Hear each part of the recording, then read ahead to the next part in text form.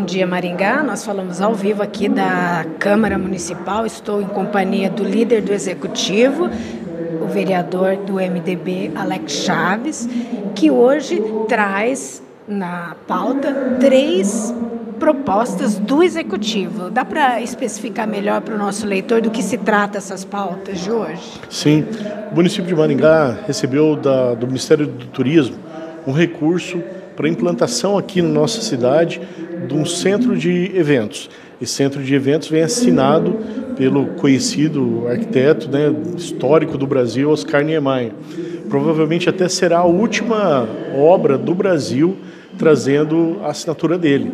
Então, Maringá precisa dar uma contrapartida. Isso acontece em qualquer tipo de recurso público que venha para o município. Então, nós estamos autorizando essa contrapartida e por fazer a alteração no orçamento, né, o orçamento foi votado no final do ano passado. Então, qualquer tipo de alteração, mesmo que seja da mesma pasta, precisa de autorização legislativa. E por alterar o orçamento, altera-se também o plano plurianual e a lei de diretrizes orçamentárias. Por isso, então, esses três projetos importantíssimos para a cidade, visto que o centro de eventos para a comunidade que ainda não tem conhecimento será ali naquele espaço onde era a rodoviária antiga, é um local histórico da nossa cidade, dos nossos pioneiros, né? Todo mundo é, se lembra com muita recordação ali a importância desse espaço e ele vai ser ocupado então por um grande centro de eventos numa obra arquitetônica que será referência para todo o Brasil. Bom retorno à sessão e nós vamos continuar acompanhando as atividades. Muito obrigada. Obrigado e bom trabalho a vocês nesse segundo semestre. Até mais. Nós voltamos com mais informações da Câmara daqui a pouco.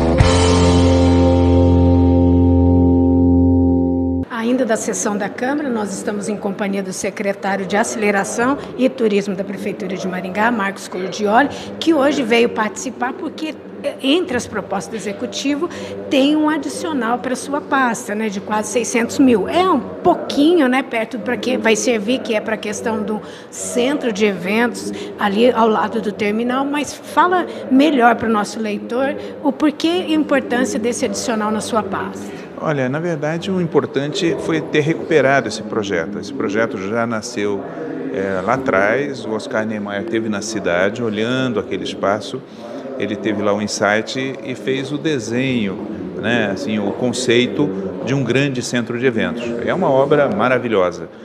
E aí isso ficou evidentemente que obras desse volume no, no, poder público eles têm uma dificuldade maior. Isso ficou infelizmente adormecido. É, no início do ano passado, a pedido do prefeito Ulisses Maia, eu retomei esse projeto. Na época nós contratamos o Instituto Oscar Niemeyer, que é o herdeiro técnico do, do próprio arquiteto, eles fizeram um projeto arquitetônico excepcional, né? E a partir daí a prefeitura, no primeiro momento dirigida pela Secretaria de Obras, conseguiu envolver uma série de outras empresas que fizeram aquilo que nós chamamos dos processos complementares, né? O estrutural, o elétrico, o liminotécnico, etc. E, e, nesse processo que nós tivemos, né, uh, de fato, a consolidação desse projeto. Só que no momento nós não tínhamos todo o recurso que a obra queria. E nesse meio tempo, em contato aí via o deputado Ricardo Barros no Ministério do Turismo, eh, se conseguiu efetivamente o restante do recurso. Então, como o volume de recursos investido pelo governo federal aumentou, foi necessário ampliar um pouquinho a contrapartida municipal. Né? Então, é uma contrapartida pequena, de 600 mil reais, para um projeto é, que de 54 milhões, dos quais né, é, mais de 40 milhões vem do próprio governo federal. E esse investimento de contrapartida, nós entendemos que ele não é, é um gasto, ele é um investimento. Se nós calcularmos o valor geral da obra, só o custo operacional da obra aqui em Maringá, né, os trabalhadores que estarão envolvidos, os fornecedores é, de serviços né, nas várias áreas, seguramente só os recursos da cadeia tributária gerada nisso já vão devolver aos cofres do município uma grande parte disso. E aí nós não temos dúvida que esse centro de eventos, ele será um grande espaço para shows, nós vamos poder trazer pessoas de até 300, 400 quilômetros, será uma referência para eventos corporativos e para eventos científicos para o mundo inteiro, inclusive esse mês Maringá está recebendo já um grande congresso mundial de odontologia, a tendência que nós passamos a receber por conta desse centro de eventos. Então, seguramente, dentro de uma perspectiva da economia do visitante, nós teremos um grande afluxo de turistas e visitantes a Maringá por conta desse espaço, seja pela sua beleza arquitetônica, seja pela facilidade enquanto centro de eventos, e o município, inclusive, como a gente diz, ele vai ter um superávit nessa questão, podendo usar esse dinheiro para outras áreas que nós precisamos, né, como assistência social, saúde, educação, etc. Centro de eventos que vai integrar uma obra maior ainda, que é o eixo monumental. É, exatamente. Na prefeitura também deve lançar ainda esse ano as chamadas de concessão para as obras de revitalização de todo o eixo monumental, é, que vai começar aqui na Catedral e vai até a Universidade Estadual de Maringá, e essa obra vai estar no coração disso. Então, na prática, nós teremos a Catedral, que já é uma obra de referência, e teremos uma outra obra de referência, essa de caráter mundial.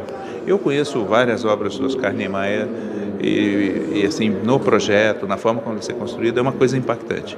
É, por exemplo, uma obra que nós poderíamos comparar, né, que é lá o, o, Museu de Arte Contemporânea de Niterói, que é um lugar maravilhoso, as pessoas saem do Rio de Janeiro, vão até Niterói, é algo espetacular, mas eu tenho a impressão que o nosso centro de eventos será tão ou até mesmo mais impactante. Só o vão livre dele na casa de 60 metros quadrados, a mais de 20 metros acima do solo, vai ser assim uma experiência para o visitante, né, para o turista, já muito grande. Então essa obra ela faz jus a uma cidade planejada como Maringá, ela faz jus a uma cidade jardim, ela faz jus a uma cidade turística como Maringá. E esse pro... falando sobre sobre o centro, sobre o, o eixo monumental, é interessante, né, esse eixo que quando estiver pronto, né, nós vamos ter um monumento histórico religioso, que é a catedral, depois vamos ter um grande espaço de convivência na Avenida Getúlio Vargas, até chegar depois, né, passando é, pelo, pelo terminal, que é, contempla a área de transporte, depois cultura com esse centro de eventos que leva o nome de Niemeyer, enfim, passaremos pela Vila Olímpica, né? então mais um outro espaço de convivência e esporte, para terminar lá na Universidade Estadual de Maringá, né? que é, vamos dizer assim, a grande propulsora da história dessa cidade. É, exatamente. Porque nós partimos assim da catedral. Por que, isso é monumental, que, né? É, por isso é monumental. Porque a catedral, nós vamos entender que ela também foi um grande elemento desenvolvendo a cidade. Aqui, né, todo esse caráter cooperativístico e colaborativo que a cidade teve foi muito movimentado na pessoa do arcebispo Dom Jaime Luiz Coelho, né, que envolveu muita gente. E do outro lado, a Universidade de Maringá, que é esse volume de conhecimento, esse conjunto de ações, né, é, é, essa potência científica. Em qualquer ranking que você veja hoje, Maringá está sempre entre as 20 melhores universidades do Brasil. Em várias áreas ela está muito bem ranqueada, inclusive do ponto de vista internacional. Então esses dois baluartes, né, o religioso e ao mesmo tempo simbólico do modelo como se construiu Maringá, e por outro lado, né, essa obra maravilhosa que é a Universidade de Maringá. E no meio, aí nós temos algumas expressões importantes, porque nós temos o Hotel Bandeirantes, temos o Paço Municipal, que é uma obra modernista espetacular, que faz jus à cidade, é, temos ali o, o, antigo centro comercial, é, temos agora também o terminal rodoviário, que é uma obra arquitetônica bonita, e teremos essa obra, que é uma obra magnífica, né? É, considerando também que o Mercadão é um modelo é, arquitetônico da época da colonização preservada para fins é, econômicos gastronômicos. Então nós estamos construindo um excelente equipamento turístico, um excelente equipamento de memória, mas principalmente estamos construindo uma boa carteira de identidade para todo cidadão maringaense. E a administração já tem uma previsão para início de obras e quando pretende entregar esse centro de eventos? Olha, nós fizemos o checklist, reunimos lá o Instituto Oscar Niemeyer, os técnicos da prefeitura, os técnicos de todas as empresas que fizeram os projetos complementares com a Caixa Econômica agora no início de julho. Tá? A perspectiva é que em outubro a gente já deva estar com o processo licitatório correndo. É, pela avaliação, é uma obra muito complexa, né? como eu disse, ela tem um vão livre muito grande, então, ela tem uma, uma, complexidade de obra que eles avaliam que pode levar num prazo de dois a três anos essa construção. Isso também depende muito é, da questão climática, porque como boa parte disso é, trabalha-se com aço e concreto armado, isso tem um impacto grande desse tipo de ação, tá? Mas seja como for, né, isso já está a caminho para curto tempo e a população de Maringá seguramente vai receber um presente que ela merece muito e vamos fazer jus à memória do Oscar Niemeyer. Né? E eu tenho a impressão assim que esse foi um momento alto da criação dele, é uma obra muito inspirada, tem um conceito é, muito arrojado que ele nos legou e nós vamos fazer jus a, esse, né, a essa, essa concepção arrojada dele, construindo de fato a obra assim como ele imaginou. Nós vamos continuar acompanhando a sua pasta para trazer sempre novidades para o nosso leitor. Então a gente encerra por aqui com Marcos Cordioles, Ligiane Ciola e José Carlos Leonel para o Fato Maringá. Obrigado, gente.